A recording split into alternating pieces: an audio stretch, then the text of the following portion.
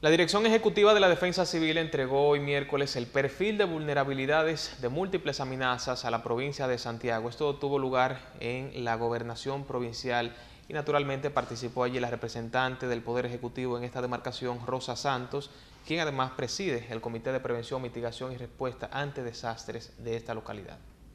Esta es una herramienta que a través del CINI, que es un instrumento de la Comisión Nacional de Emergencia, donde se almacenan informaciones que permiten en este momento saber ante qué amenaza nos encontramos en cada una de las partes vulnerables en Santiago.